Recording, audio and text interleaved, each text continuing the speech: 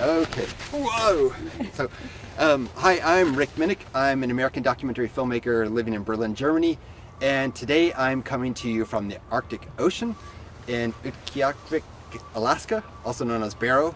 I think I slaughtered the pronunciation. But anyway, I'm here um, on an exciting expedition called ArcSpin, and with all these uh, atmospheric scientists from Colorado State University who are researching something about thawing permafrost, and I'm trying to figure out what it's all about. So why don't I turn it over to Jessie. Hi everyone. I'll get behind the camera. I'm Dr. Jessie Creamean and I am the leader of this expedition called ArcSpin and what we're here to study is permafrost.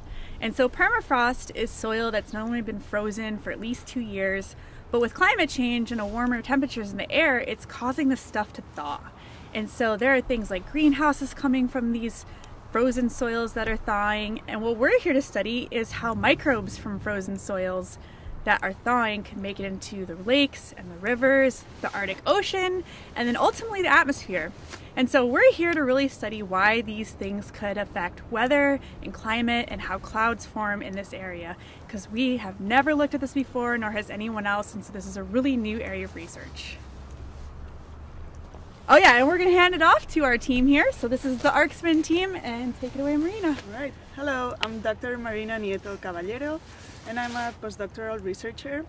My expertise is in DNA, so my work is going to focus on understanding what microorganisms are in different samples coming from permafrost, ocean, rivers, lakes, or the air. Hi, I'm Kevin. I am a graduate student and I'm going to be focusing on how we can best sample these microbes and particles in the water. So we're going to go out and sample these from the regional lakes here. Uh, hi, my name's Tom Hill, and my role is to, I think, find out what they are. Are they bacteria or viruses or tiny bits of plants left over from ancient times? We don't know what they are. So what can we expect for the next uh, five, six weeks? Adventure. Mud. Lots of mud. Lots of mud.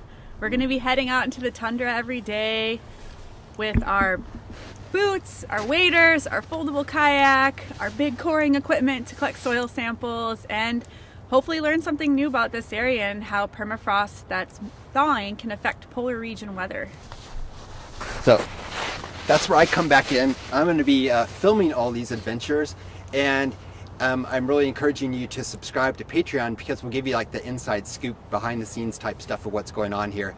We'll be posting on other uh, social media platforms and stuff too, but if you really want the inside scoop, um, subscribe, become a Patreon subscriber, and uh, we'll give you even more stuff. So, um, yeah, join us on our adventure. Thanks. Bye.